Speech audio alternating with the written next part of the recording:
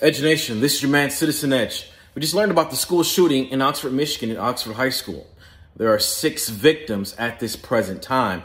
There are no known fatalities, but as the story comes in, we'll provide more updates. But from a concealed carry perspective, how do you feel if teachers are armed in our schools with all these shootings happen so often and with society downtrending with all these uh-huh. crimes and the next threat just being around the corner uh-huh. and gun-free school zones? How do you feel about that? Uh-huh. Me personally, my children are homeschooled and I carry all day, every day. You know, I'd rather be judged by 12 than carried by 6. But I want to hear what you have to think about that. Drop in the comments below and let's talk about it.